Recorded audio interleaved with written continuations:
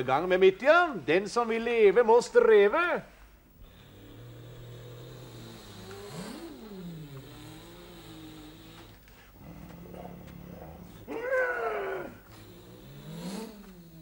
Bra bil du har fått deg, gitt.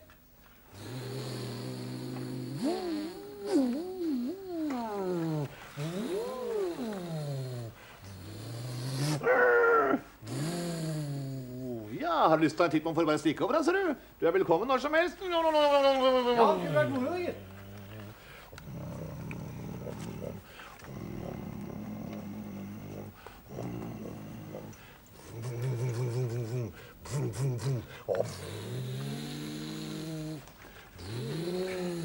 Hei.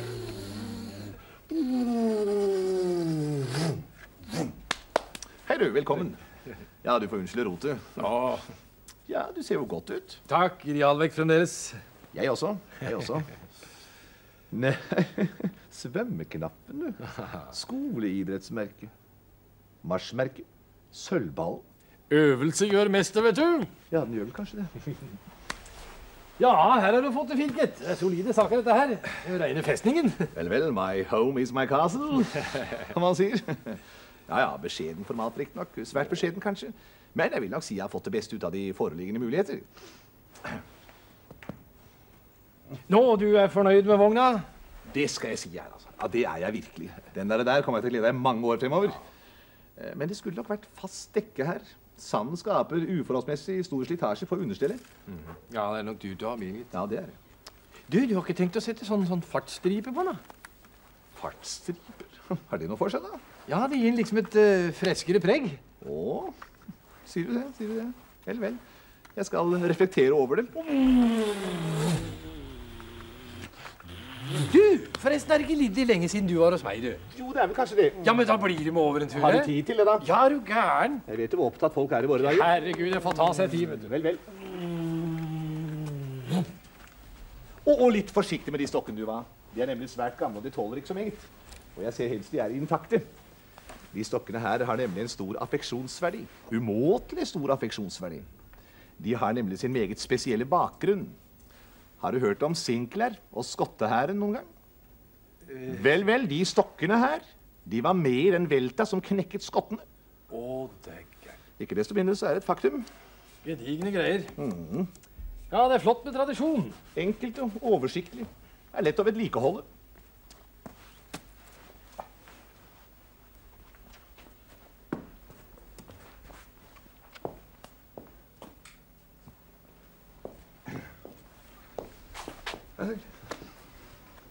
Ja, ja, ja, ja, ja, ja, se hva det er. Ja Her har du jo fått det fint. Ja, som plomma i egget Ja, Det tror jeg gjerne. Lettvint og greit og svært enkelt på alle måter.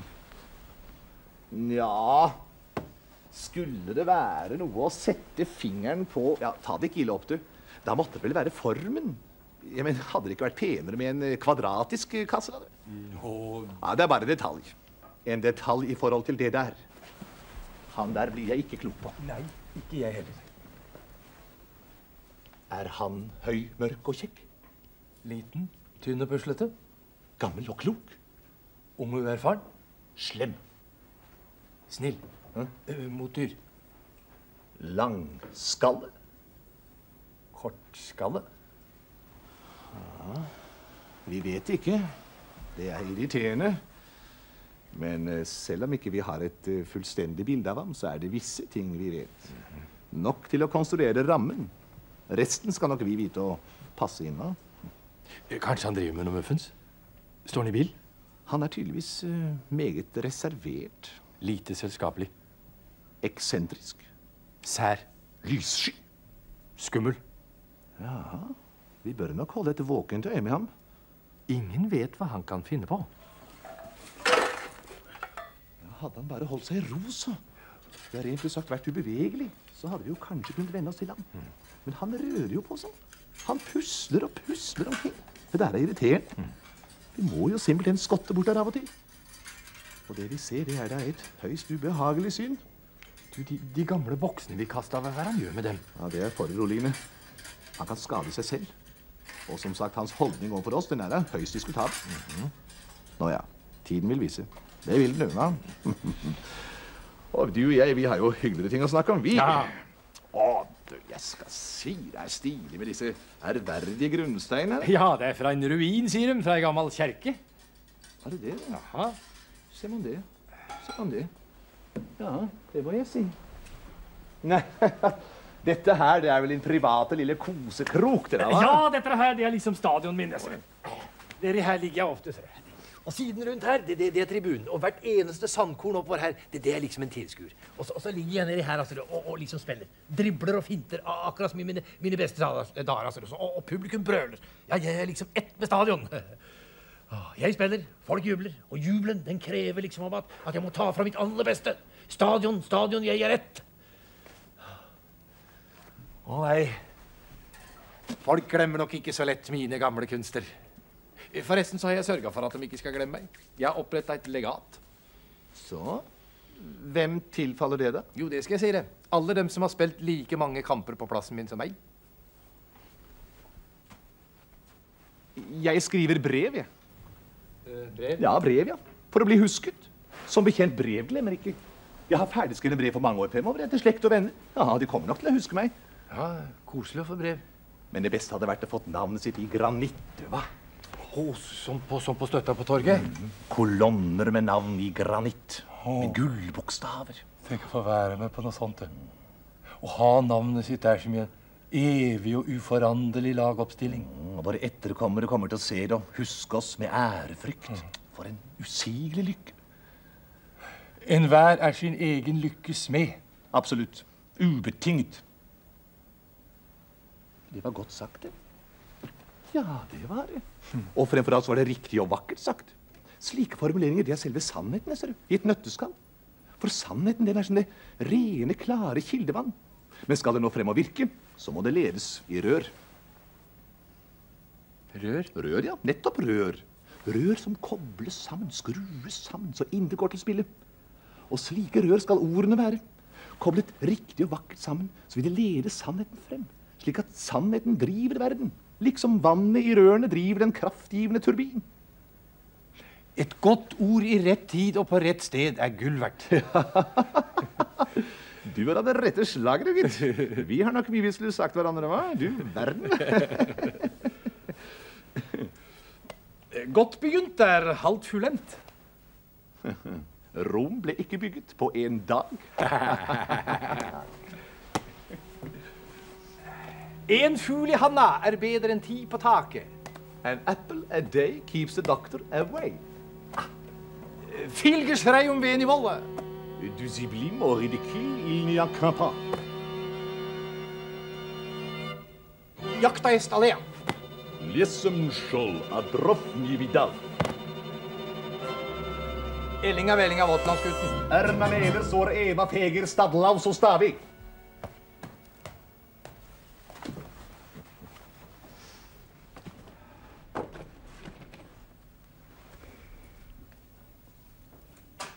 Og hva driver du på med? Titter. Du vil ikke si at du har anskaffet deg eh, Er det en mulighet for at jeg også kan eh, Ja, det er flott, skjønner du. Hei, du verden. Interessant. På mange måter fascinerende. Også farver, da, gitt. Nei Ja, takk for tiden, du. Det var en opplevelse. Stikk over da når du har lyst. Kjennskap gir vennskap. Ja, ja.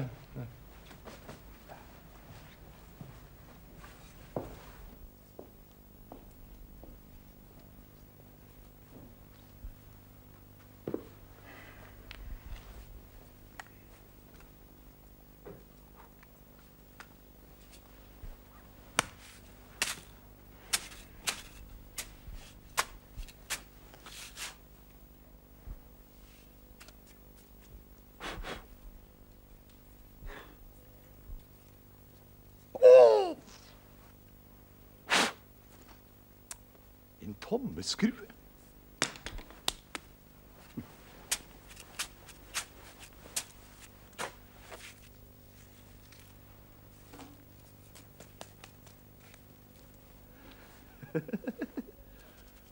oh! Ja, det skulle man da ikke ha trodd.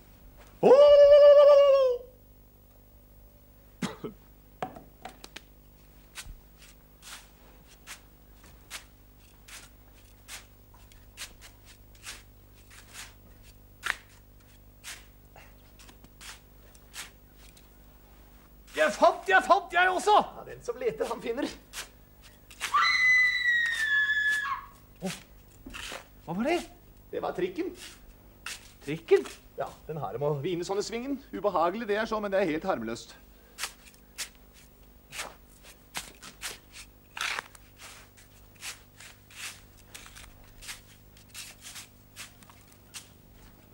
Ja, jeg fant det igjen! Nei, nå kan han komme! Tyskere eller hvem som helst! Hei! Hei!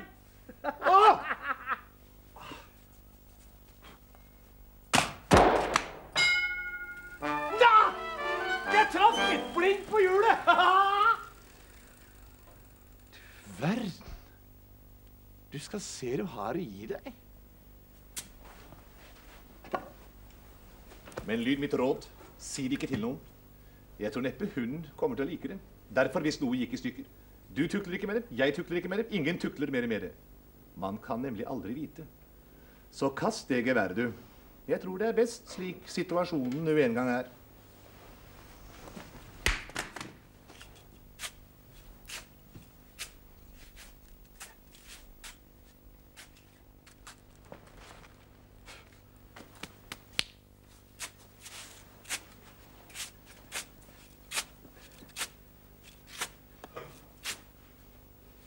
Hei, ja.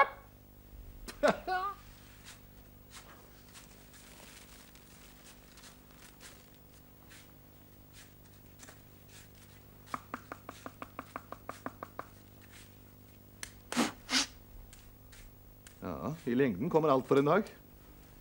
Det er mye mellom himmel og jord. En får ta det som det kommer.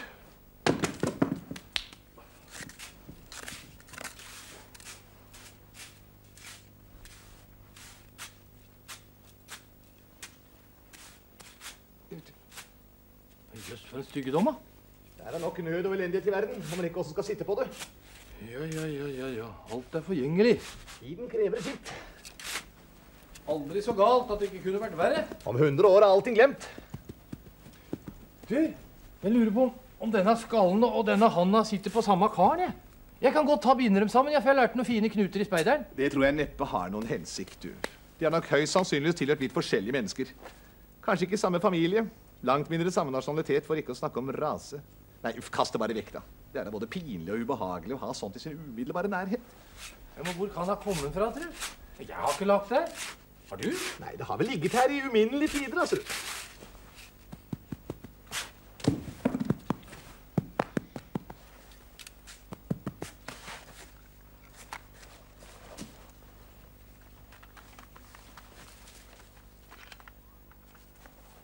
Nei, du! Nils Blåmann i heftet! Hva? Nils og Blåmann? Nei.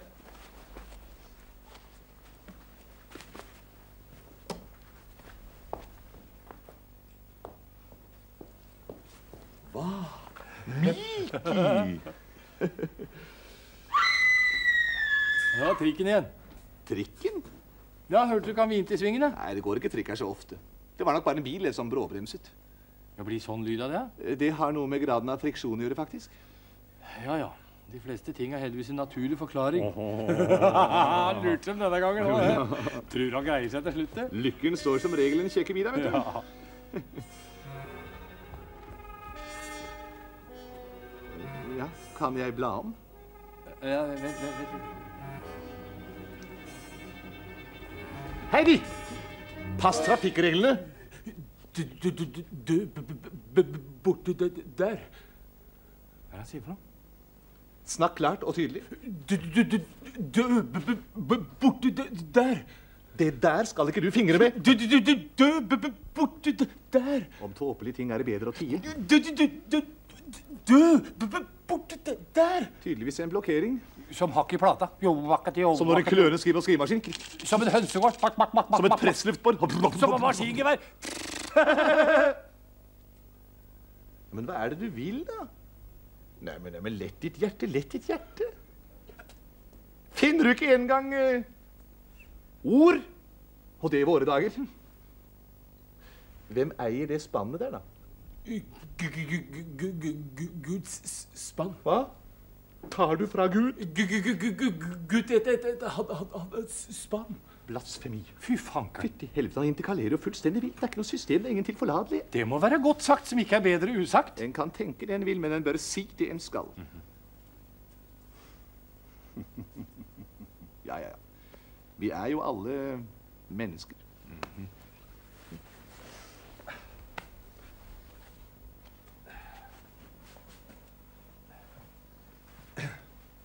Kom igjen. Nei, men kom, da. Du skal få prøve min nye bil. Ah,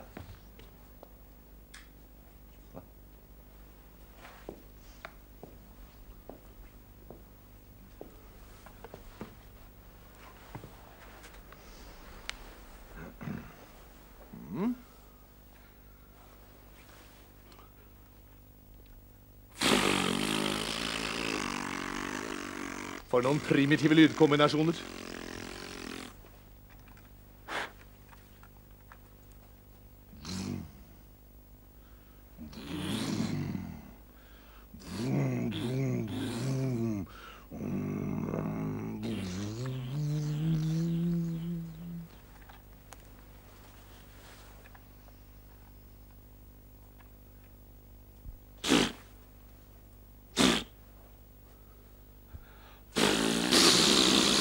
Usivilisert som en knallert. Det er Mercedes der.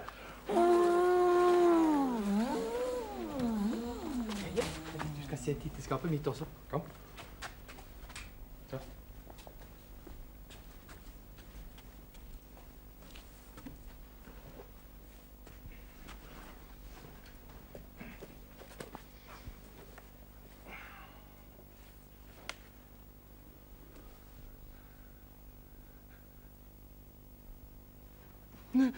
Tja, tja. Ræva bak oss når en snur deg.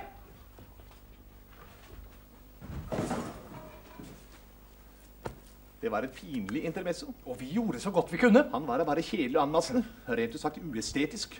Det måtte da kunne gå an å holde sin svakhet bedre skjult. Det er ingen unnskyldning for sånne som han. Det feilte han altfor mye til det. Alle er ikke så halte som de hinker til. Den som har rett, går rette veien. Ærlighet varer lengst.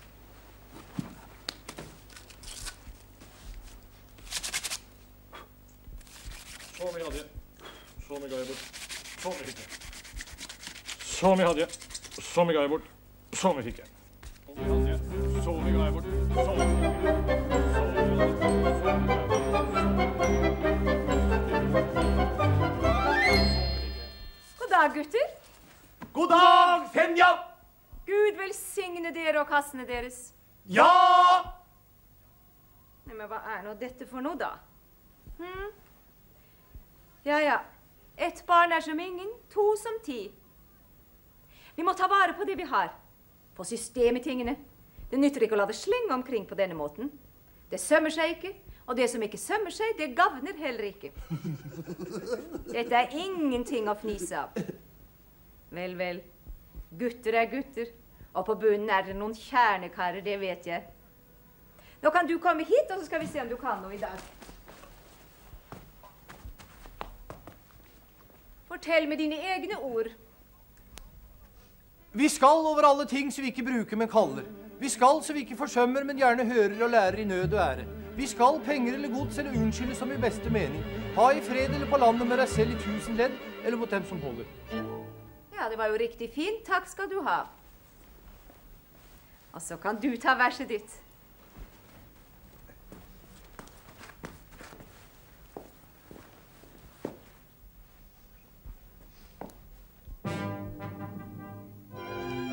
De dro en dag langt over fjell.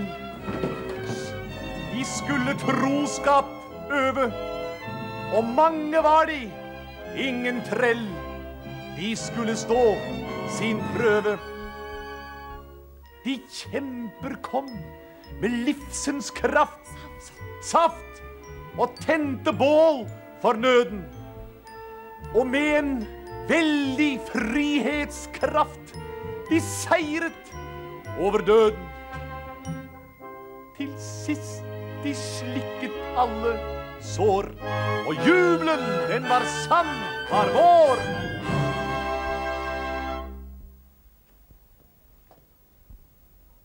Tenk dere det ikke. Dere kan når dere vil. Og det skal dere vite, at den leksa en lærer ung, er aldri tung. Kunnskap skal styre rike og land, og dere har muligheter som ungdommen ikke hadde for bare få år siden. Og så skal vi røre litt på oss.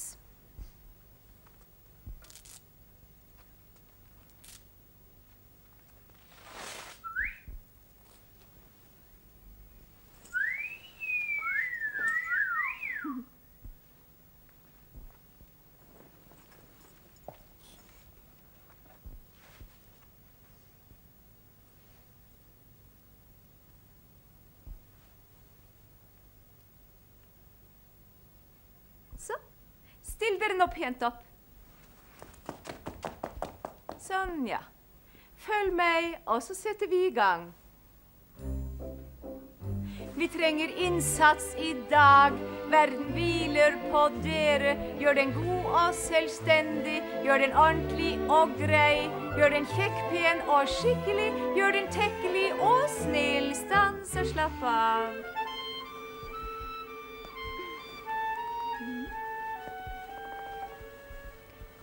igjen. Støtt de byggende krefter, slutt opp om frihet og fred. Vern det gode, det sanne og skjønne, la det seire morgen, middag, kveld.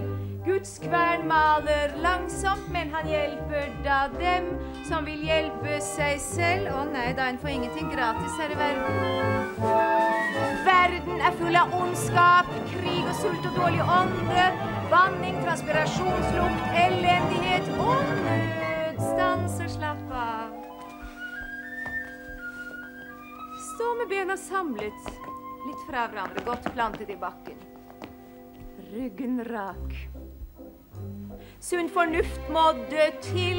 Ikke gjør noe overilet. Se først til høyre, og så til venstre, og så til dem som det er naturlig å la seg sammenligne med. Først da, mine barn, kan dere sette i gang. Rist løs. Klar igjen. Husk å puste.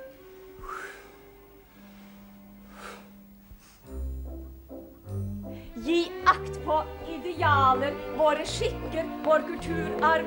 Holmenkollen, lørdagsfri, vår herlige natur.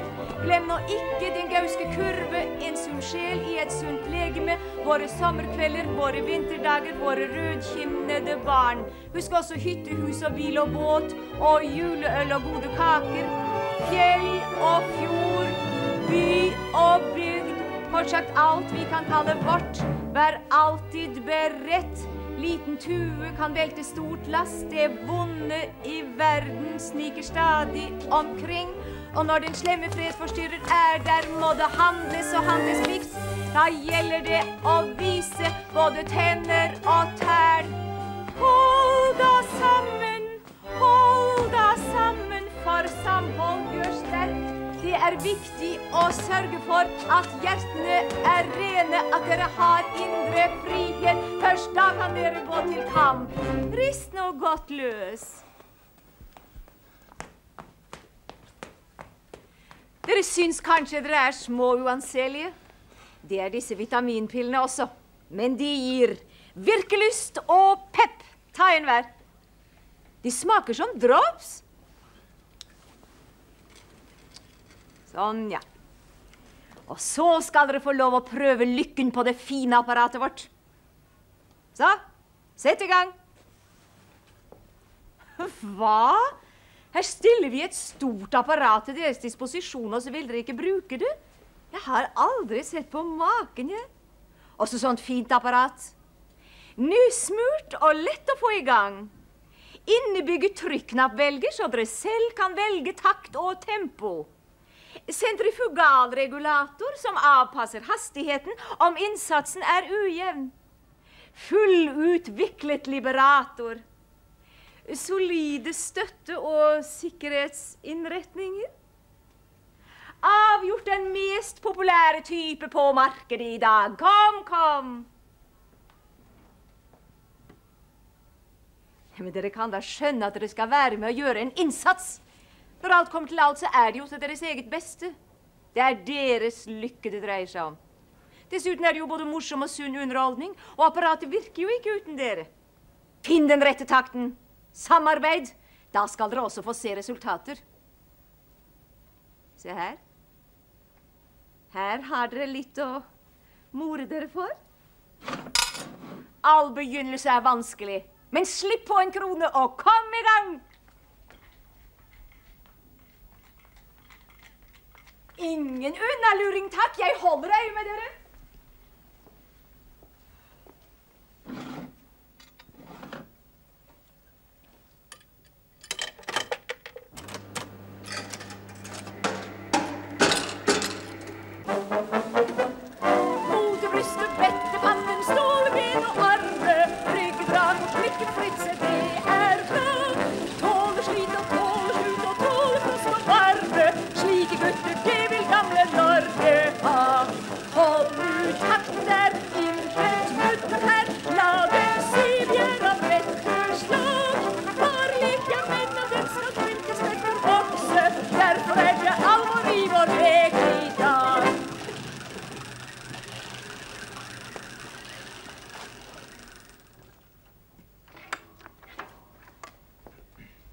Nå inn i en energisk periode, og dette vil vekke begeistring.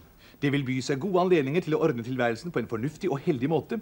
Ingen grunn til å spenne inn livremmen. Nå er det min tur.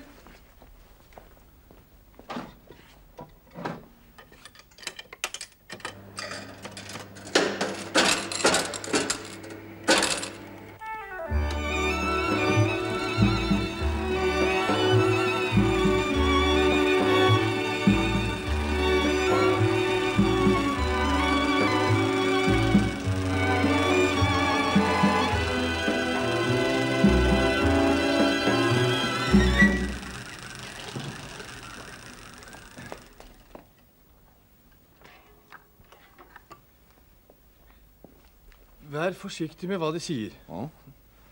Det vil oppstå en misforståelse mellom dem og deres partner, men alt vil ende i fordragelighet. De klarer kommende oppgaver over all forventning, og de vinner adskillig selvtillit når resultatet foreligger. Om de spiller deres kort riktig, vil de gå en lykkelig tid i møte. Ja, ser man det, du. Det, der er kronen til. Ja, alle gode ting er tre. Men uh, hvem skal bruke den, da? Kanskje vi skulle la han uh... Han med de bena, kan han holde takten? Visselig ikke det skulle bli nydelig fremdrift. Og hva med brann- og sikkerhetsvedtektene? Ja! De sier jo tydelig fram en øvre grense når det gjelder antallet. Nei, her spiller så avgjort de generalpreventive hensyn inn. Og dessuten like barn leker best. Å nei, du. Det må nok bli en ganske annen som skal bruke de pengene og trykke på knappen. Ja, har du noe forslag? Nei. Vel, en får påta seg den blir pålagt til det felles beste.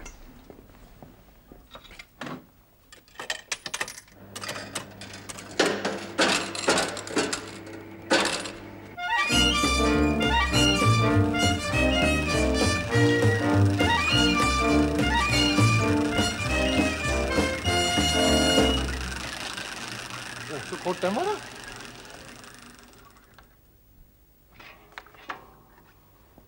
Bruk deres erfaring i en vanskelig sak.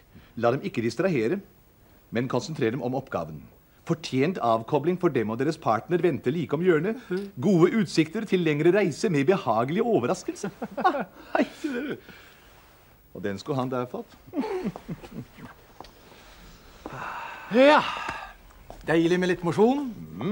Og godt å vite man har utrettet noe, og at alt gikk så bra. Ja vel kan man si at forholdene var lagt godt til rette. Men eh, kraften bak det hele, den drivende kraften, det var oss, du. Det var vi som fikk det til å gå rundt. Først da vi gikk i gang, ble det ordentlig sving på sakene. Og derfor er det dobbelt godt å kunne slappe litt av hos seg selv. Ja. Det har vi da fortjent.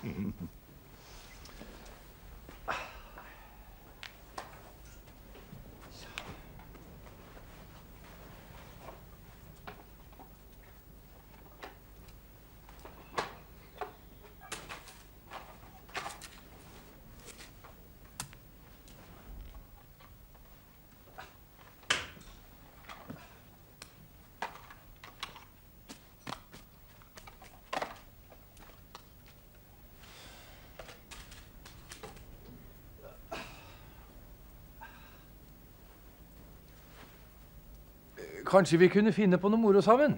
Ja, jeg er mottagelig for alle gode ideer. Bytte glans. Passé. Fullstendig passé. Bytte glans, det er noe som morer meg minst. Ja, rent ut sagt. Nei, nei, bare et forslag. Nei, du, nå har jeg det! Noe jeg lærte i det siste bursdagsselskapet jeg var i. Først har du en historie uten sånne sånne, sånne ord som sier åssen noe er.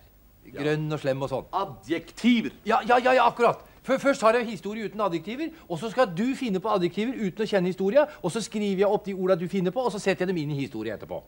Ja, det var veldig moro, det selskapet jeg var i. Jeg kan tro det ble mye rart. Men, Den blå olemann gikk bort til den dustete Kari. ja, den blå olemann gikk bort til Ja, den ja, ja, jeg forstår hva du mener. Ja, ja da, da skriver jeg opp de orda du finner på? Ålreit. Så setter vi i gang, da. Ja. Ja, er du klar, da? Ja. Jaha. Nå skal vi se, nå skal vi se. Verdig. Solidarisk. Fremskrittsvennlig. Rettenkende. Velfundert. Samfunnsnyttig. Sunn. Saklig. Eiendom. Ja, ja, ja, ja, ja, ja, jeg tror det holder. Skal vi se åssen det blir. Nei, men jeg, jeg hadde da den, den lappen på meg. Jeg, jeg skrev opp historien jeg tok den med meg. Forhandlinga, den må du jo ha, den. Så det blir ikke noe moro i det hele tatt. Søren også. Så synd.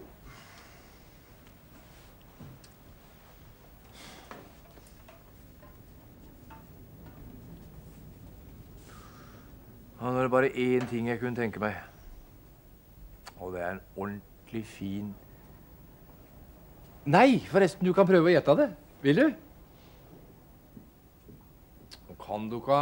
Det er så lenge siden du har gjetta noe. Nei, altså, kom nå med deg. Er jeg skal gjette, da? Ja, Det var noe jeg var veldig glad i før. Jeg er på fem bokstaver. Første er F, og den siste er E. Har du gjetta det? Ja, Den andre bokstaven er I, og den nest siste er T. Ja, nå har du det vel.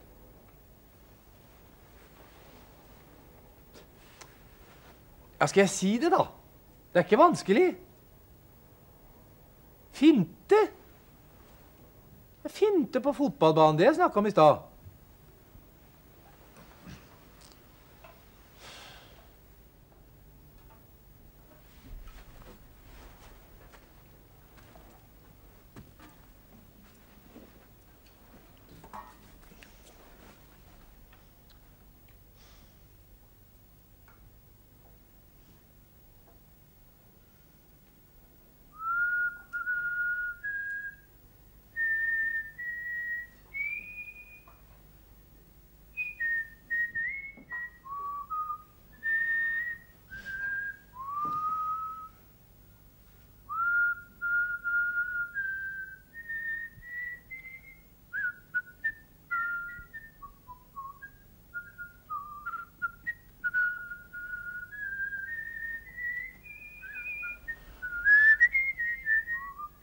Musikk.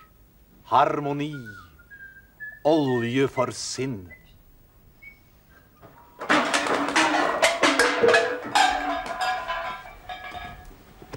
Klossmajor. Humlekopp, Provokatør. fredsforstyrrer, Et harmonisk forhold brutalt ødelagt. blanda seg inn i våre Ligner. Vi vet ikke lenger hvor vi har ham. Onde gjerninger hater lyset. Vi må reagere. Vi må handle. Nød bryter alle lover. Den som ikke kan holde fred, får tåle ufred. Bedre føre var enn ettersnar. Den som ikke er med oss, er mot oss. Men det kan bli farlig. Ingen vet hva som kan komme til å hende. Alt er en overgang. Vi er i samme båt. I farens stund modnes det beste i oss.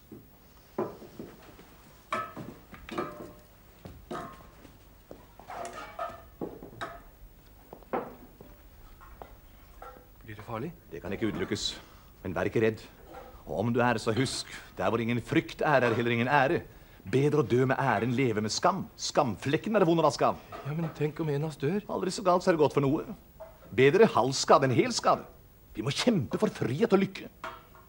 Den som intet våger, intet vinner. Den som vinner i det store, vinner også i det små. Og skulle vi dø, så husk at vi døde for en sak. Jeg er beredt. Det er bedre å hoppe i det enn å krype i det. La oss derfor frigjøre kreftene. Ugjort gjerning får ingen lønn. La oss bruke de midler vi har for hånd.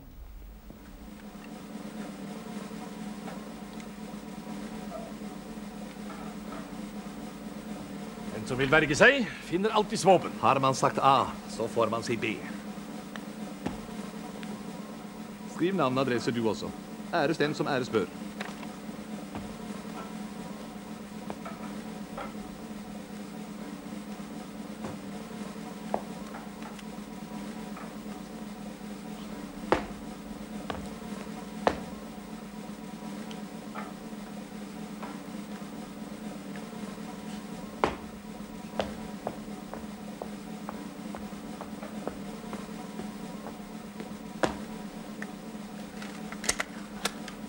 Lykken står en kjekke bi.